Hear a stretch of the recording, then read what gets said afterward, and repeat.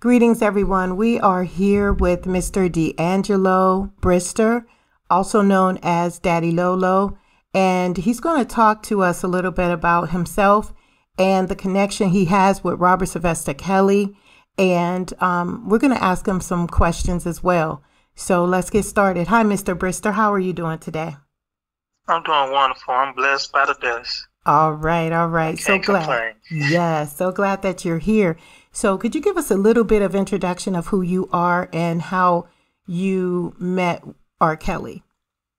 Uh, sure. My name is D'Angelo Brister. I am. Um, I most people know me as Daddy Lolo. Uh, I am Rob's godson. Um, back in the day, him and my mom they grew up together in the same neighborhood, and right before he got big, uh, I was like three or four years old.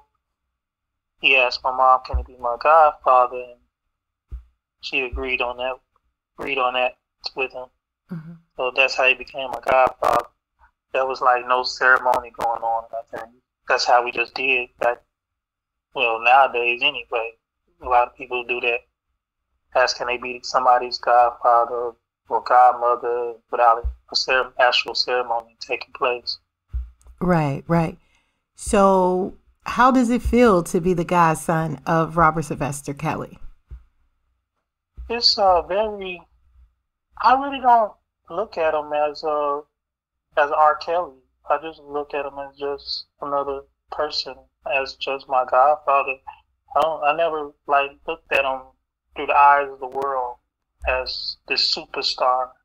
I never actually got to know that. Mm-hmm. Mm-hmm. I know what's what's the person like behind the doors, and I know like like once he on stage, uh, that's really when he considers himself a superstar. Because when he off the stage, he's just a normal person to himself. Right, right. So tell me a little bit about D'Angelo Brister. So, I uh, I'm a father father two daughters, uh, 18 years old and 8 years old. I'm 36 years old. Um, I do uh, paratransit. Um, I'm a nice, easygoing guy. Try to, I'm very, very helpful. Um, nice, kind-hearted. Um, always there, try to help people. Very just a helpful person. And that sounds like a Chicago trait, huh? Yeah. is that a Chicago thing? Wow. so it, it, you can you can say that it's a Chicago thing, but it all depends on how you were raised. Mm-hmm. Absolutely. So, what made you decide to um, create the Facebook page that is very, very strong and powerful for the information for Robert Sylvester Kelly?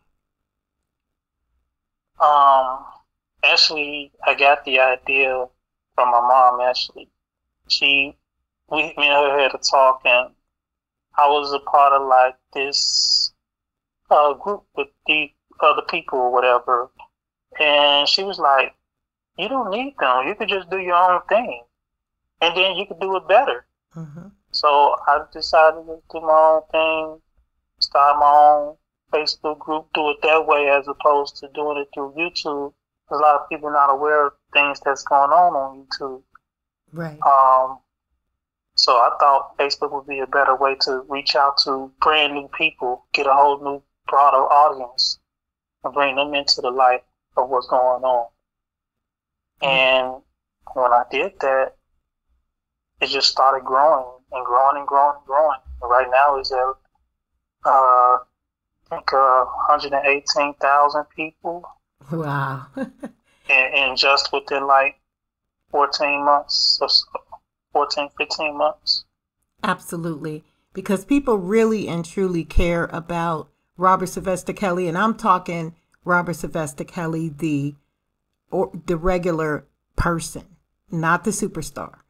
Um, and and a lot of people are you know do you get criticisms because you are you know a supporter of robert sylvester kelly Uh, I've been getting criticism since I was like in high school when the supposed other case was going on during that time. Mm-hmm. Uh, that was like in 2002, so I was like a sophomore in high school. So I've been getting all types of criticisms, but I never let it faze me. I just let it go through one ear and out the other. Mm-hmm. I don't let it bother me. It's just a lot of lot of noise. Absolutely. It really makes for a very strong minded individual to get through that, you know. And being so young, it's like, you know, wow. So give us a little bit of um of a day that you and Robert would have together that would make it, you know, Godson, Godfather Day? Like, what would a day look like to you? Going to the mall, yeah. uh, basketball, a studio time, out to eat, uh, lifting weights. Um, that's pretty much around about it. Sometimes go to like amusement parks. Mm-hmm. So he was very active. He's a very active man, huh? Yes, yeah. Yeah. And so now um, let's talk about the protest. Um, I I saw a video of you on YouTube, I think, and I'll put the information in the description box for those who would want to see the video. Could you share how that started and and how that felt to you?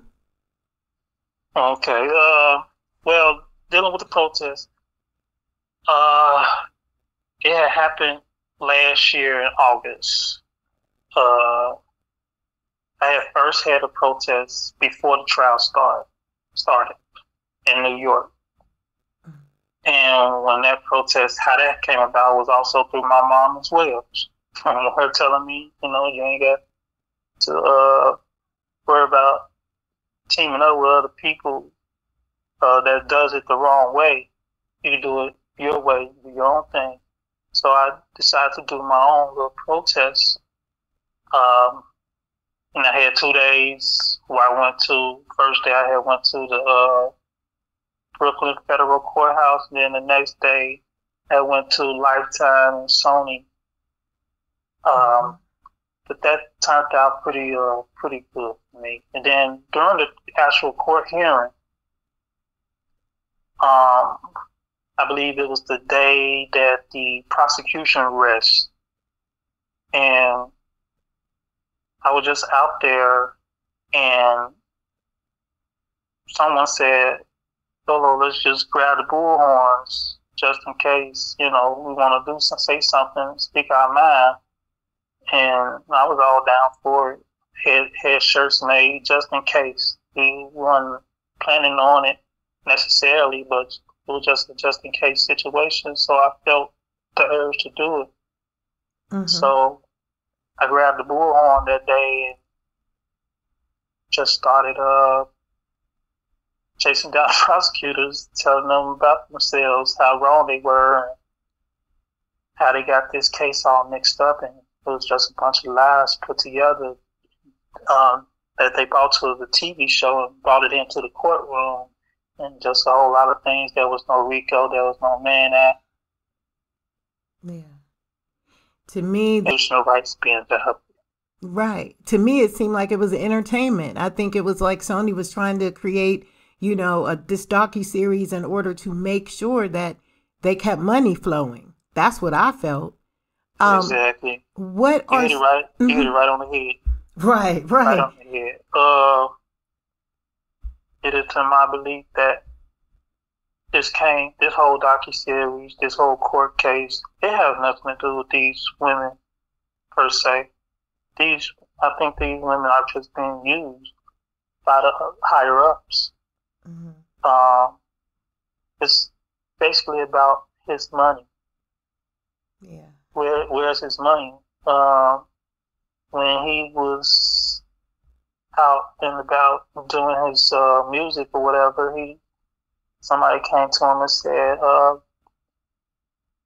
"It's time for you to get your money." He so he went to Sony and asked him for his royalty, his his rights as a, musician, writer, composer. He's worth uh, over like a billion dollars. Mm-hmm. So mm-hmm. when he did that, then all of a sudden all these allegations came about the cult thing, and then he's holding women hostages. They they getting beat and all of this, and, and then came the Lifetime documentary, and now we here with the court cases. So it's like Sony invested a lot of this money. Like whatever you do to keep him his mind off of getting this money, then do it. We'll we'll invest in. And I believe that's what happened. Hmm.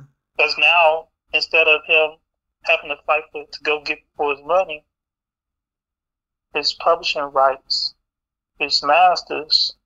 Now he got to fight for his life. Wow. Wow. And, and he's not the first person this, this has happened to. They tend to do this to a lot of people, like Michael Jackson and Prince and Whitney Houston. It all seems to be about when they get to that 30 year mark, something happens. Mm. And you are right. You are right.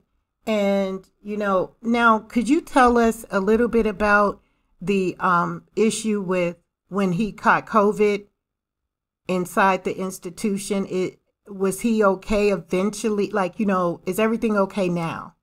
Yes, everything's fine now. Okay. Uh, yeah, he had just caught COVID. They had uh had him uh isolated, mm-hmm. and then they had a whole uh that put a halt to him preparing for his case as well. Right. So that put him at a disadvantage. For like the lawyers couldn't meet with him, couldn't do the no uh no uh video conference or with him or nothing. Mm. He had to mm. stay isolated. Right, right. Speaking of attorneys, how are you feeling about attorney Jennifer Bonjean personally helping Robert Sylvester? I'm loving it. Mm-hmm. I'm loving it. Um, I sort of, kind of, uh, kind of, sort of, kind of knew that we probably would get Jennifer Bonjean before we got Jennifer Bonjean. Mm-hmm. Um, but I had actually hinted at it, hinted at it, like when I was doing a uh, interview when the uh, verdict came out, and I did an interview with uh, Black News Channel, BNC, mm-hmm. and I said that uh, a lot, uh, not not too much worry about it because you're gonna probably have high chance in the higher higher courts. Uh, probably like with the same how they did with Bill Cosby. That gives me a lot of hope. Mm-hmm. So I kind of like threw a hint out there. Absolutely. And that's a very smart hint because we need to be preparing ourselves for the Supreme Court level if we have to take it there. And that's what I'm doing for him now. It's just like gathering information, doing research to, you know, put things out there for people to view and think about because the the magic is in the conversations that we have about Robert Sylvester Kelly being, you know, alive and still here you know, in the world, but separated from the world. It's like so weird. It's so weird. It feels weird. It looks weird. But we know when we hear his music, when we hear good, you know, um, things that's going on with him while being on the inside. Is he doing any music on the inside? No. Mm. no, he's not doing no music. I wish he was. He wish he was, but he's not doing any music. They actually he tried to do music when they first got him. Uh, he asked for his uh, music stuff. Uh, can he get his music stuff so that he can work on his music? And they told him no. Hmm. Wow. So I know that that music is that new music is just swarming all through his head like the musical notes. With it all through his head yeah. every day, like just songs just playing in his head. Uh-huh. I remember. then mm-hmm. now he don't have his device where he can record the song. That's a can in his head. Wow. So it's like it goes to his head, but sometimes he like forgets how like the rhythm of it uh, uh, and how it would go, the flow of the words. So it just came in his head and nothing's coming out. They're trying to separate him from his spiritual gift. Yes. Really, really trying to break.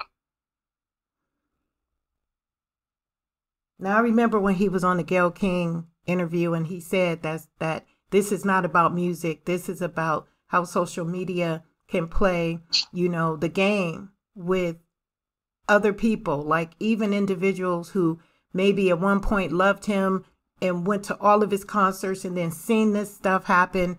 And then now they're like, oh, I'm staying away from it. I'm shying away from it. You know, that's really sad.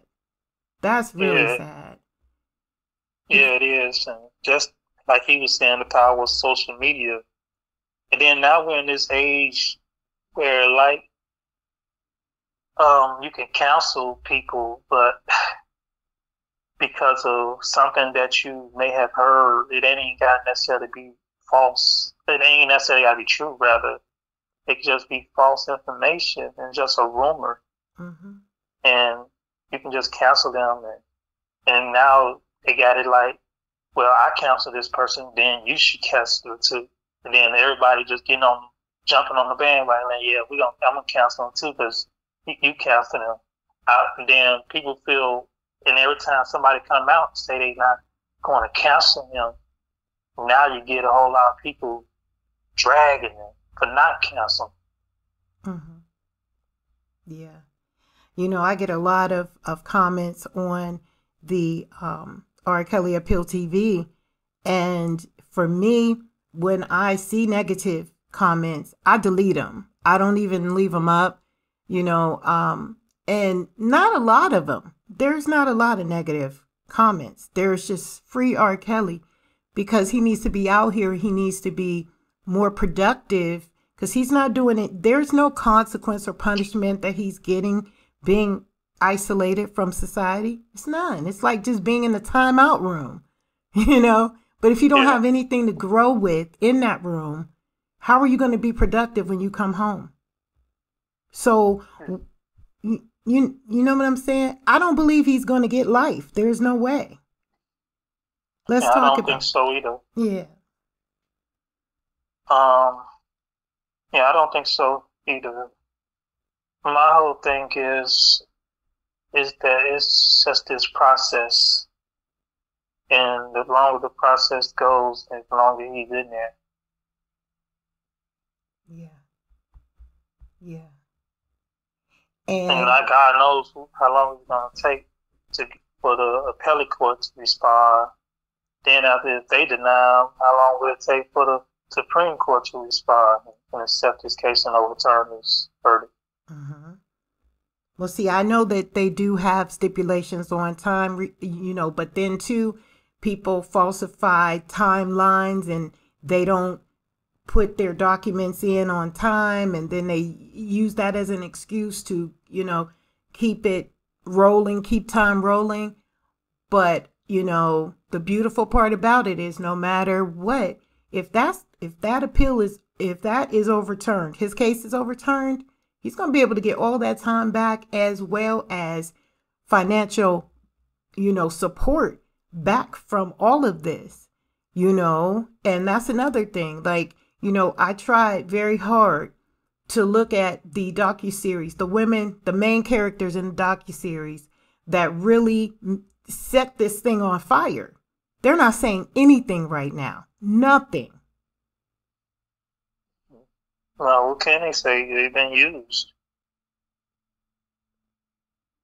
They and, they came for what they did, uh, which was they got their money, they got their notoriety, people they got for whatever you want to call it, they fame from it.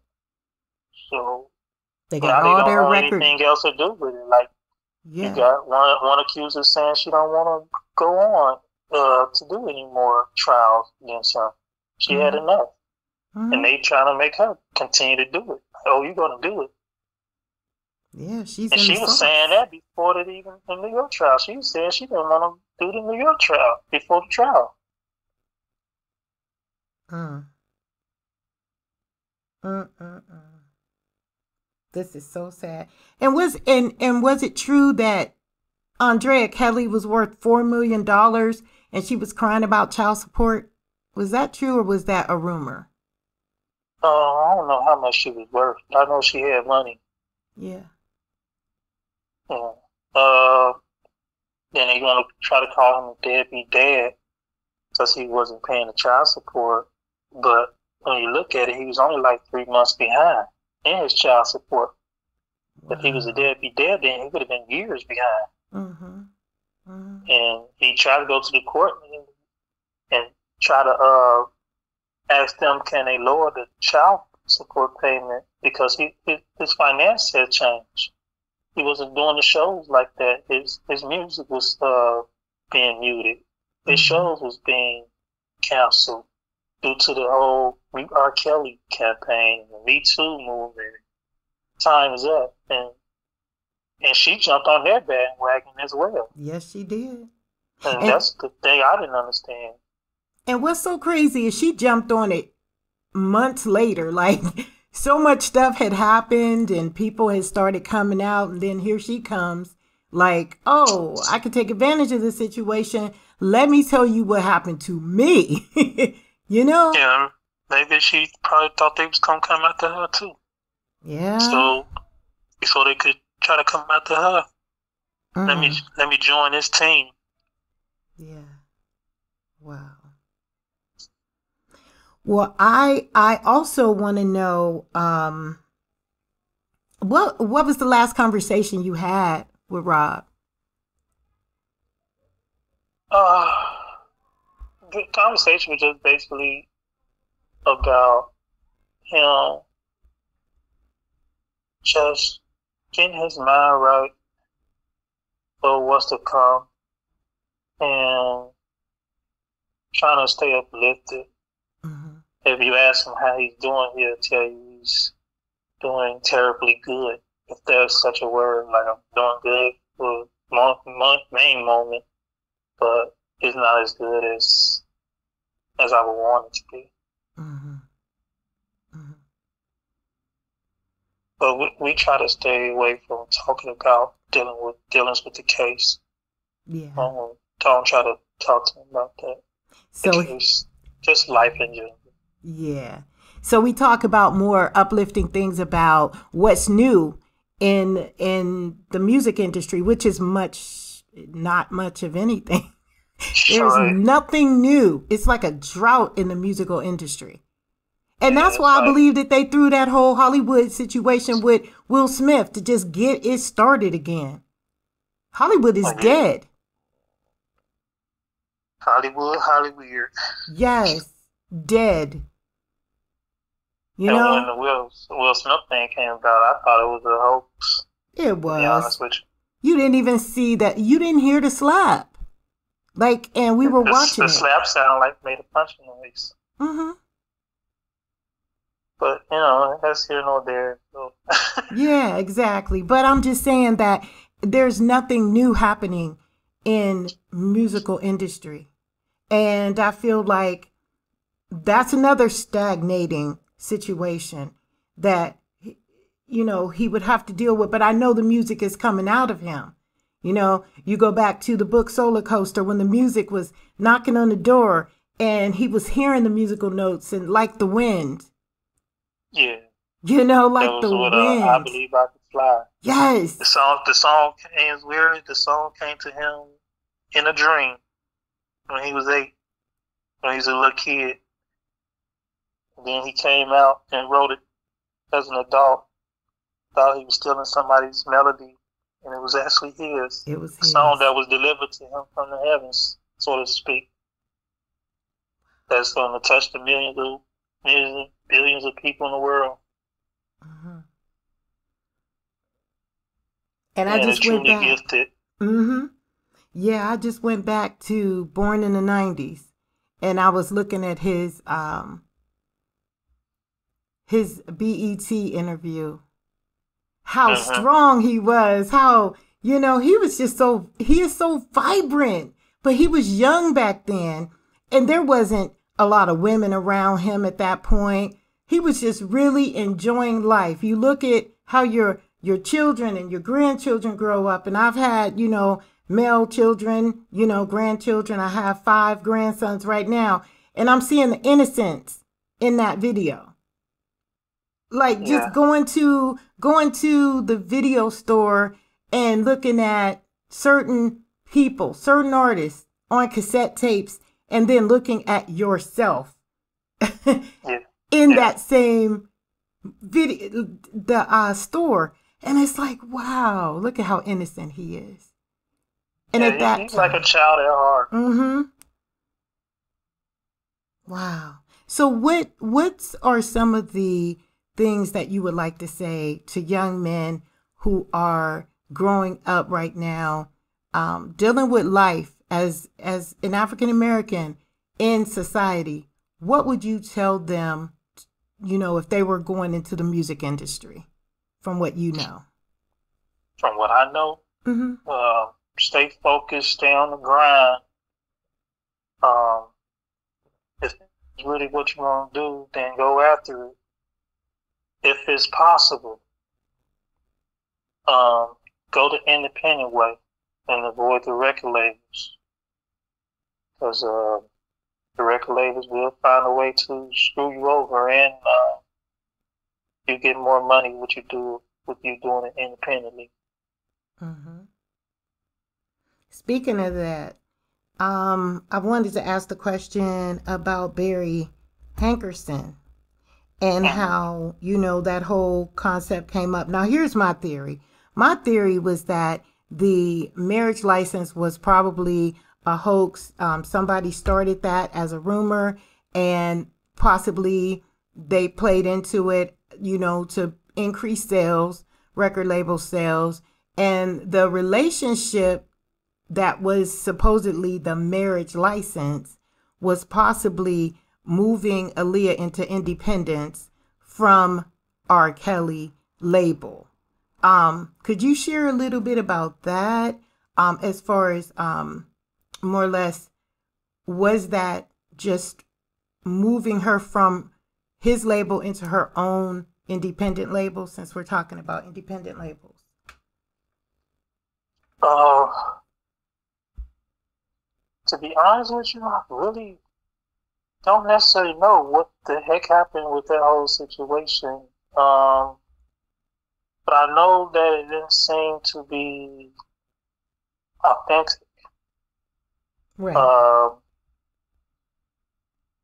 for one,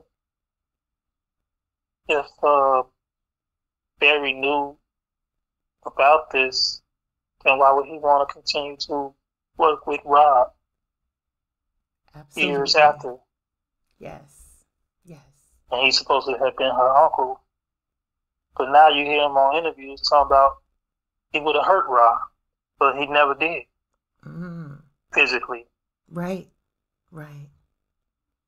Well, he, he got at him financially.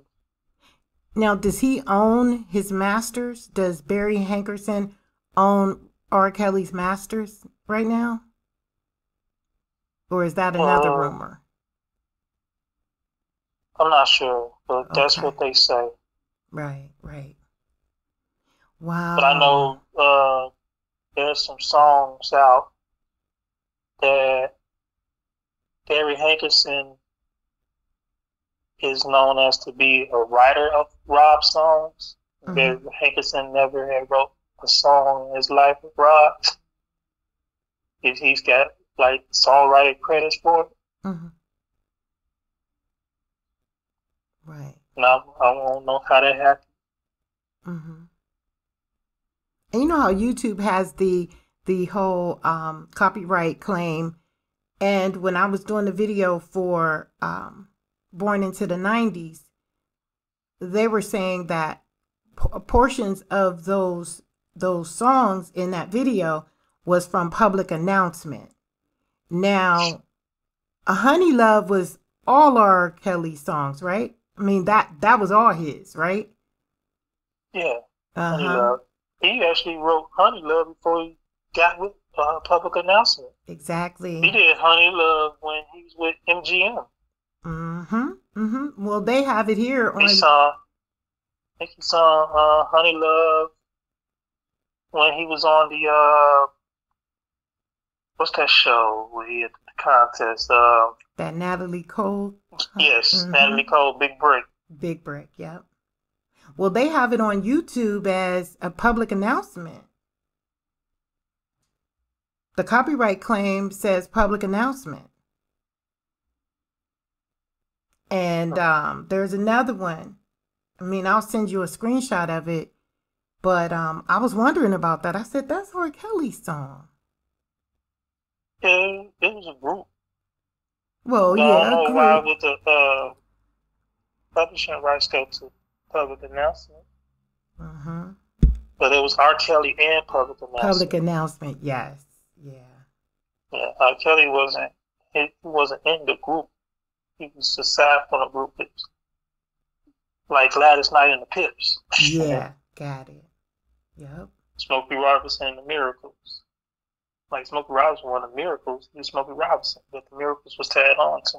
Yeah. Like Public Announcement was tagged on to R. Kelly. Mm-hmm.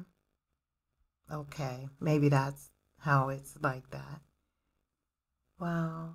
Well, I just really thank you for talking to me. I wish I had have been able to let everyone know that we were gonna have this conversation. I didn't know how it was gonna go because I would have had people call in and maybe we can schedule something like that so they can put their input in it. But I just don't want people to be live and saying ca- calling in saying negative things about you know Mr. Kelly and you know that's that's just how I feel about him you know um I think Yeah. he is a wonderful wonderful singer um that whole so now his his vocals when he got the surgery his his voice surgery um when he came back he was even stronger I think he had more of a mature sound at that point you know, um, versus the younger sound that he has. You know, Yeah, it was like a gift and a curse. yeah, yeah, Yeah, then he had uh right after he had surgery, doctor told him don't go, don't do no music. And he went right right into the studio and started doing music. hard head, yeah. right? But that's how he deals with his life. You know, he he deals with things through his music. Mhm. Um, that gives him a sense of calmness. Um, but yeah, he was going through. Uh, he came out with the song "Shut" after he had the surgery.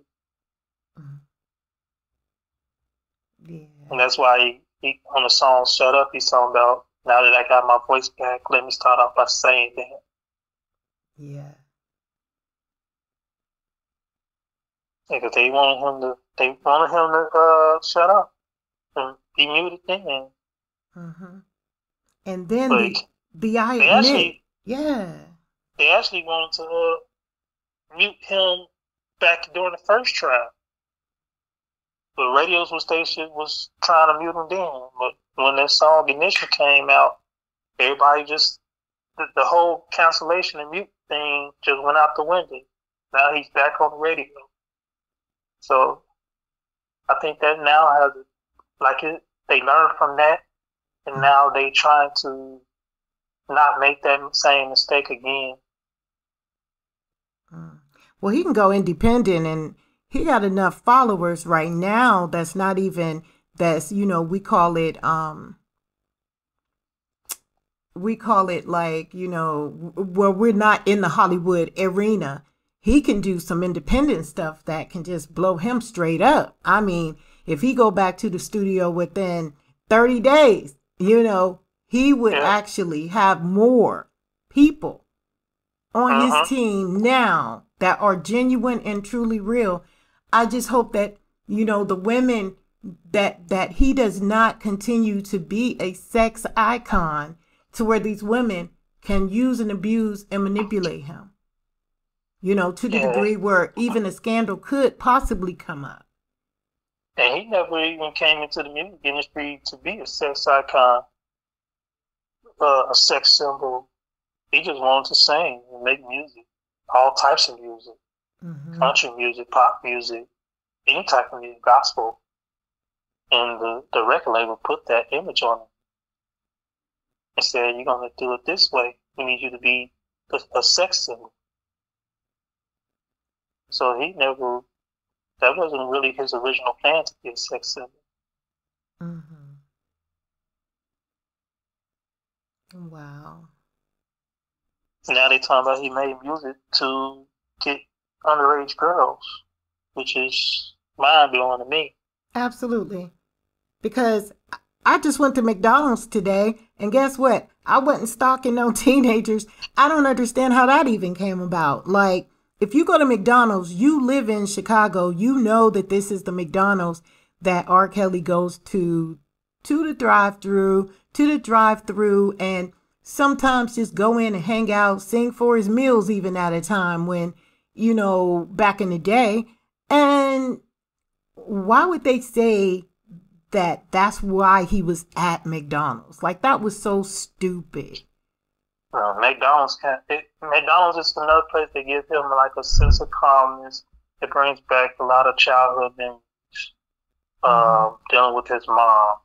Yep. And sometimes he'll go order food from McDonald's and just only take like one or two bites of it, and that but he don't eat the whole meal. Right. Just there because it gives him those memories from when he was going there with his mom. It's like his mom's spirit is there, it's still in. Yeah. Yeah. and he ended up actually when he got his house at the uh, Trump Tower, right outside the window, you- he could see McDonald's, but he didn't know that if McDonald's was gonna be outside his window that he could watch McDonald's. Somebody Yeah. else had picked the house for him, and it's just so ironic that the way the position of the house was, it was looking over at McDonald's. because I think, really, I think he is a spiritual essence. I think he came to this planet to do some good deeds, to do some great singing, to meet some wonderful people because he's an angel. He's an angel in disguise. Like, and I don't know why I'm saying this like this, but I mean, you're right. Everything is so like connected to him. Like, you say his name, and a lot of people was just right there. Like I Yeah. never, I never like your your page, my my YouTube channel. Just because we say his name, people will come to him. It's like amazing how it happens. So I wanted to know if you knew anything since we were talking about his mom, Joanne Kelly. May you be in peace. Um, his father had had you ever gotten an opportunity to know had he ever talked to you about that relationship with his father Um, yeah, he never knew his father. Right Uh, never knew him, never met him. Um, it was just a sad situation. Um, he always wanted to know who he was, but every time he would ask his mom about who his father was, he'd see his brothers and sister, they father come by every now and then, every blue moon, um, to you know, give them Christmas gifts or birthday gifts or something like that. He asked his mom, like, when am I when am my father gonna come by? And she'll just tell him like I'm your father. Never ask me that question again. mm-hmm. Um, so he lived his whole life in wondering, chasing after uh, who his father could be. And you know what's so ironic if you look at paternity court people Uh-huh. are people are finding their kids during a time like they can be 50 60 and they're like oh i remember i wonder if this kid was mine like no father no man ever came and said, I want a DNA test to see if he's my son. Right. You know what I mean? Right. But uh, to him, his father is was his stepfather. Um, who his mom was uh, with. Right. So that's the only father he knows. Yes. And he actually named the character after his father, that, who his mom was with, that he known to be his father. Mm-hmm. Uh, he named the character Trapped in the Closet after him, uh, Lucius. Lucius, yep. yeah. Wow. Speaking of Trapped in a Closet, so are those episodes still out and available to view? Uh, yeah. You, okay. Does he get you royalties? can view them on okay. uh, Facebook. Got it. Okay. Now, does he still get royalties for that? That was yes. his work. Okay. Yes, yes. He, he still gets he's still getting the royalties. Problem is that the royalties are so tied up right now due to a lot of things, uh, like lawsuits. Yeah, that Heather Williams. Mm-hmm. And and he's not making as much money with his royalty as he would have, because uh, also a lot of places around the world canceling his music on radios. And we're trying to, that's one thing right now we're trying to do is get them to start back playing his music. We're working on doing that behind the scenes. Mm-hmm. Mm-hmm. So that they can also help him, help him out and Right. The world, when the world hears music, it's gonna take away a lot of that negative negativity. Yes. Yes. So, how many more um, signatures do you need in order to um, submit that uh, petition to the radio stations?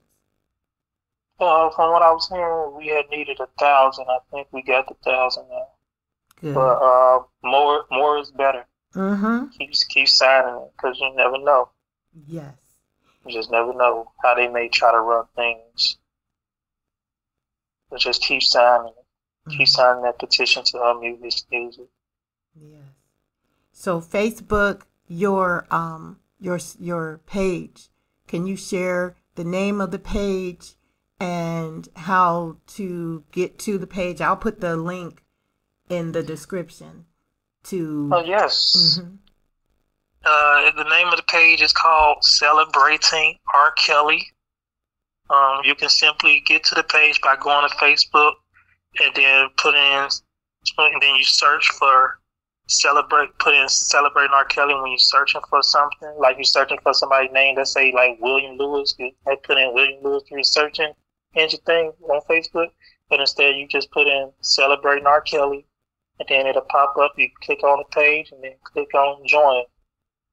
Mm-hmm. At the top of the page is the join button, and then you can even invite your friends to it as well by clicking on the invite button. Take you down a list of your people who you are friends with, or and then you can share it, put it on my other websites. It shows you a link to share it. Messenger, all types of things. Right. Is there anything else you would like to say, or you would, because right now we were just going with the flow and it feels like a conversation. Yeah. you know, and we're doing pretty good, but I know people are going to have a hundred questions for you. I'm always willing to come back and answer, you know, questions. I, I do my very best to be as honest as I can when mm-hmm. with answering these questions. Mm-hmm. Um, so I'm always open to that. Okay. And I just want to tell the people out there, you know, I appreciate Rob appreciates you. Uh, he loves you. He, he's getting all your letters. Um, sometimes he may not be able to respond back to your letters because there'd be so many, and then um, he have a hard time with just reading it, and he got to get people to uh, help him out with reading some of those letters. So it it's just a little burden on him right now, but he'll he'll get back to you uh, randomly. He just randomly picks someone and just write them back. Mm-hmm. And um, he loves you guys. You know, stay positive. Keep your heads up. Stay prayerful. Keep praying. If you can't do nothing else, pray. Prayer is the most important thing in this whole fight, after all. Wow. Thank you. And when you write them, send them encouraging letters. Mm-hmm. Don't, don't talk to them about the negativity that you may see see going around like other bloggers or on Facebook or something. Just keep it positive. Write him and tell him how much he means to you, what his music meant.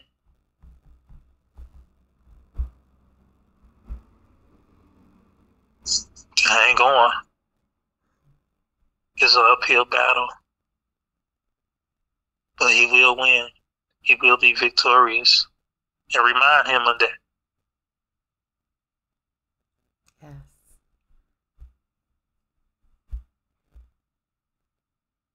but that's it. okay. I got so many ladies that calls um Rob their husband, my hubby, my boo, he coming home. I'm like, yes, I just give him a love. Like, yes, he's coming home. So, and that's something that I really hope that he's going to be working on the the the healing from the the very things that other people, you know, try to accuse him of the just the healing of that because to come back home that's a battle too because you're going to be wondering is this person really thinking this about me or you know this isn't true or yeah i got your back 100% you know you don't know who's coming and how they're how they're going to respond to him so it's a really wonderful thing to see the women just still being there um not as as um just people trying to just people to support him. That's who we want to embrace ourselves with. That's why I've come along and partnered with your Facebook page. You've partnered with our YouTube page. Um, and I think I love your YouTube. Thank you. you are on fire. thank you. You so bringing much. it. Yes. yeah, I'm telling you because I'm telling you, R. Kelly, he brought me through a lot. You know, I've been incarcerated and I went through Really? Yes, yes. Back in twenty in two thousand eleven, I was um laced and I had just started my business. First black, uh-huh. you know, business trying to help small businesses get up and running. And my neighbor, and I swear I thought it was a governmental conspiracy. I swear I did. But um then I ended up you know, driving seven miles, getting into this altercation in this suburban area, and I was incarcerated. They were going to give me 34 years. And wow. yeah, I told them, I said, I blacked out because when I went to county, I ended up with LSD, PCP, heroin traces, and crack cocaine in my system, and I don't know what that's like. All I remember doing is drinking a margarita and smoking a puff of a puff or two of marijuana. Uh-huh.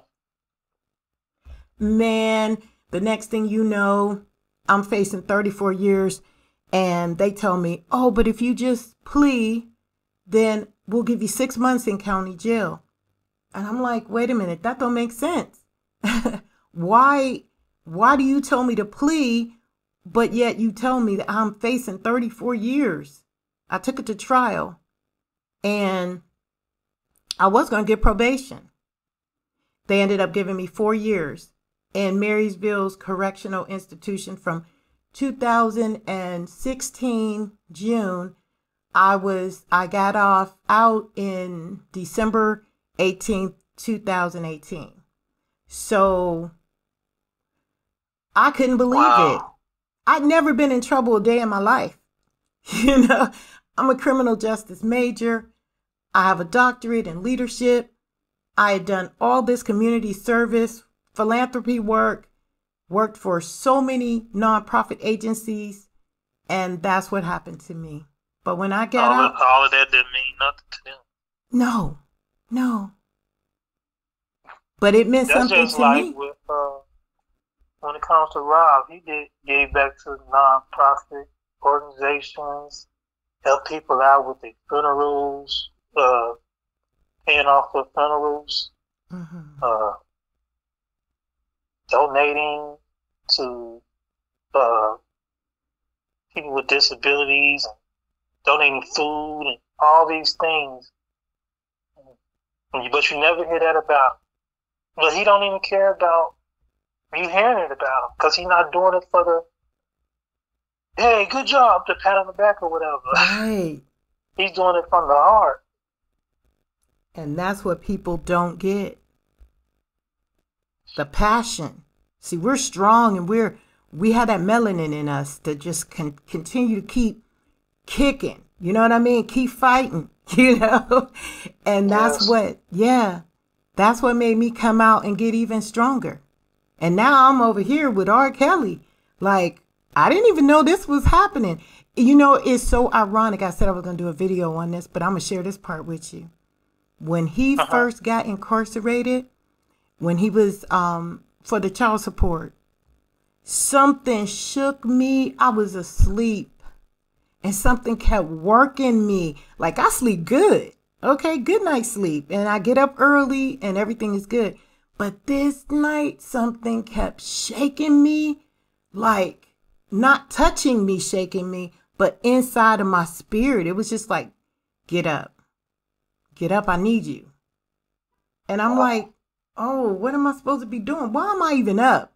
And then all of a sudden, I come to my computer and I just start the R. Kelly appeal. And I'm like, why do I want to call it an appeal?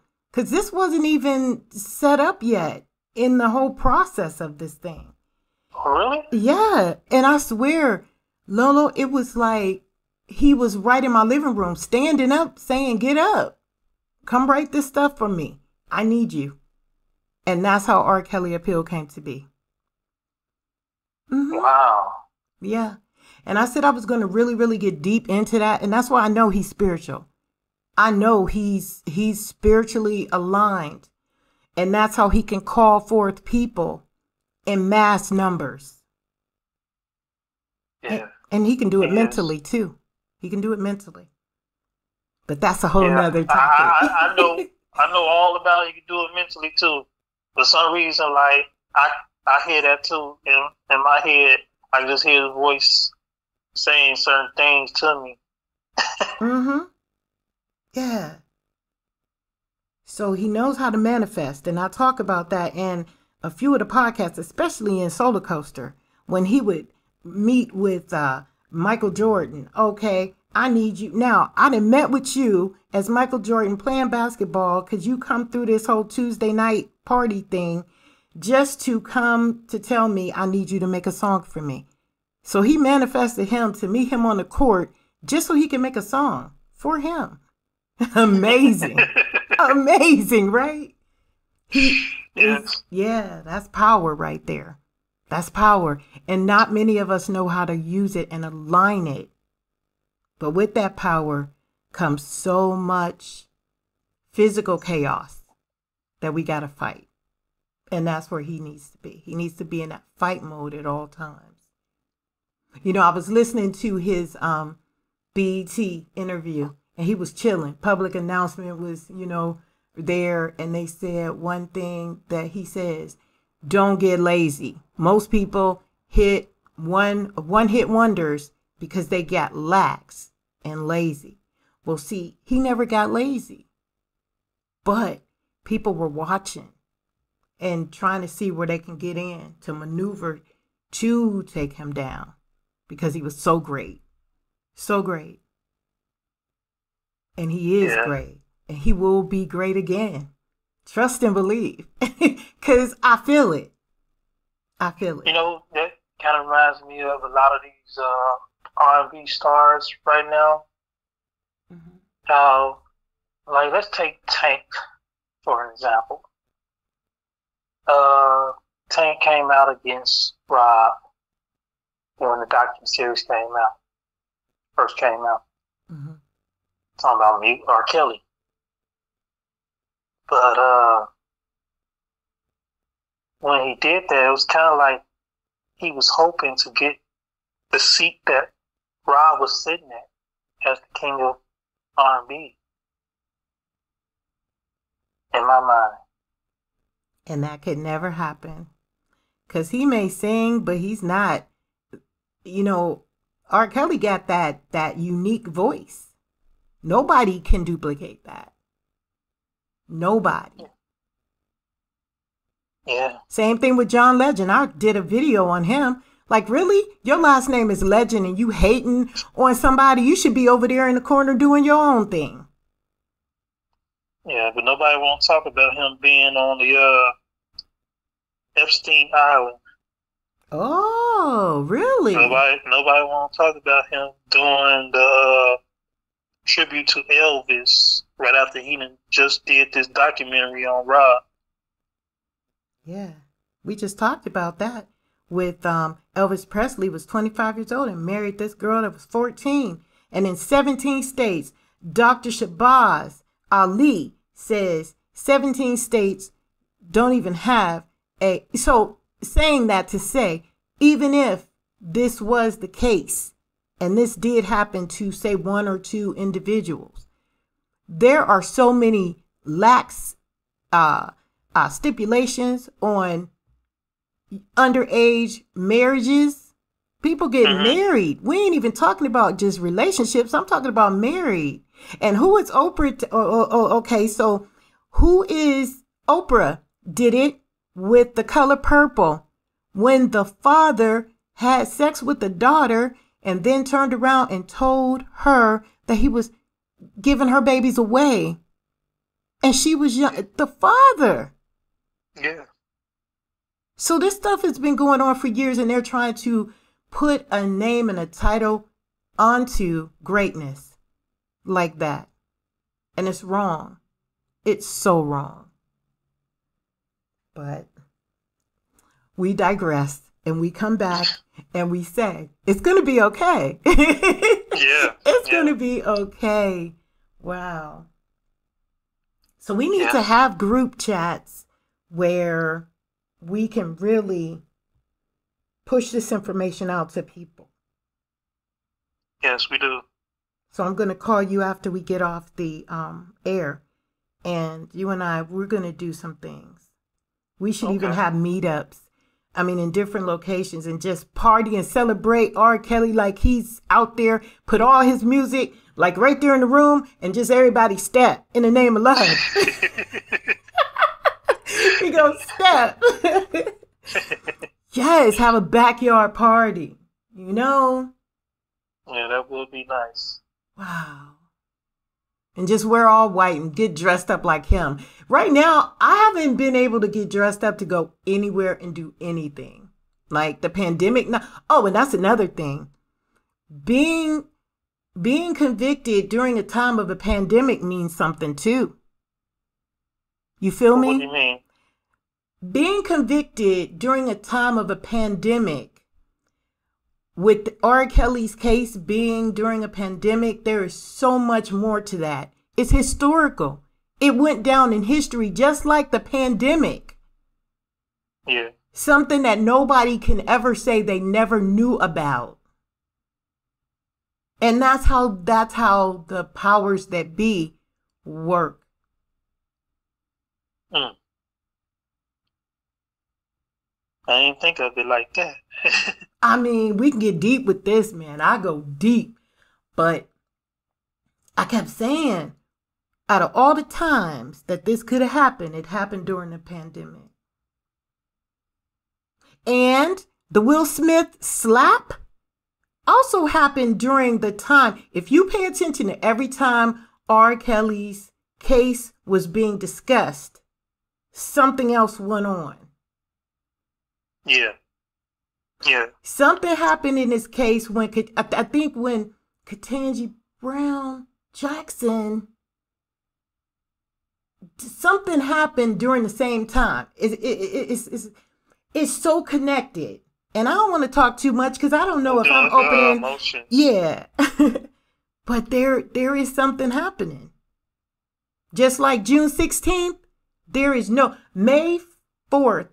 You know, I study the alignment of the moon phase and I get into that. I've been doing that since who 2006 when I traded in Christianity for for Kemeticism. And mm-hmm. one thing I can say is dates are very vital to the outcome of situation. So I followed May 4th. May 4th was an opening in a portal of the universe where, you know, we learned about Jupiter and all the the the planets in science in the 6th grade, but we never took it any further. But there is something powerful that happens in the universe that aligns on critical dates. Uh-huh. So I need to go study what June 16th represents. What's happening? You know, because R. Kelly is a Capricorn that's ruled by Saturn. So Saturn is the bringer of hard lessons, the bringer of change, the bringer of of of longevity. Uh. There's a reason why he's a Capricorn, see? Uh, but we'll get deeper into that on another because I know these people like, what is she talking about? what the hell? but I thank you. I thank you so much oh. for just being here and just helping me because you're helping me see too. Because I knew that something was wrong. And I knew, I said, how are these people? I said, at what point in life will somebody be able to just tell a story about someone and they get incarcerated because the story they told? But yet there's no evidence, there's no pictures, there's nothing but just words. Just words. Sad. He say, she say. Mm-hmm. Mm-hmm. But I thought it was based on facts. Any other case would be based on facts. And there's another thing happening on the internet, and I'm telling people it's the technical laws that are coming out under the form of technology.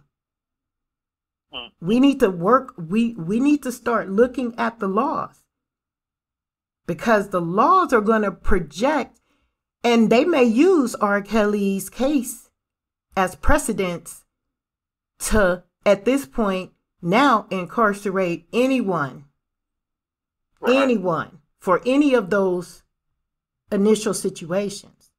And this is what the prosecutors are working towards. That's so scary. It is very scary. If that's the case, they can prosecute anybody. And not anybody. only that, they can put any type of child pornography on anybody's computer because guess what? Our information is sold every single day to people we don't even know. They can just put child pornography on you without even putting it on your computer. Because all the say is, girl come and say that she she did it with you, and Danny ain't got to present in court because they didn't present it in court in New York. Mm. But he was found guilty of, they said, sexual exploitation depicting a minor. or the Mann Act. mm-hmm. Mm-hmm.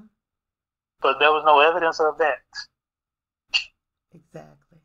And, and the prosecutors said in their closing arguments, saying, you know that he did it because uh, Jerhonda told you he did. it." uh-huh. uh-huh. The biggest liar. Like, the biggest liar yeah. of them all. And, it, and you know he did it because Jane told you he did.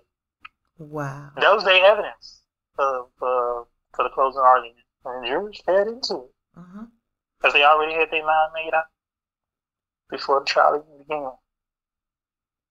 And see, I think R. Kelly is a good icon for our African American young boys that are just coming from sixth grade into puberty. Yeah. To see how to handle themselves sexually in the locker yeah. rooms, in the bathrooms of schools. Because you know how many times somebody could have been, um, you know, accused of of sexual assault. There was many times my booty got felt on, and I didn't know who did it in high school. Yeah. Is that sexual assault? See what I'm saying? Yeah. They have to come up with something better than this. They're just hitting missing. And that Me Too movement is saying everybody, anybody can jump on board and do whatever you want. Oh, this is the this is the movement. No, it's not the movement. You need to train people how to be what is the etiquette for sexual situations in society? When Hollywood creates the the rated R movies, the violent movies, Yeah. you know. But yeah, I digress. Okay. so yes, I thank you so much, Daddy Lolo, and I will be coming to your Facebook page, and we need to schedule another uh, conversation, um, so we can invite people in to ask their questions and really get deeper. okay, that's fine. All right. so we thank you. And Our- who knows, I may bring some other people along with me. Absolutely. Yes, yes. As long as we're on the same board of of, you know, representing Robert Sylvester Kelly in the best positive light that we can and, you know, and being professional because that's what this channel is all about too, professional, you know, um aspects, you know, so get everything in order, you know, and and I understand sometimes people may be angry, but we have to learn to use our words in a very respectful way so that all people can enjoy the content. You know what I mean? Yes. Yeah. All right. Thank you so much. You And thank everyone for viewing, liking, commenting, subscribing, and also sharing this podcast. And as always, keep it 100, and we'll see you next time.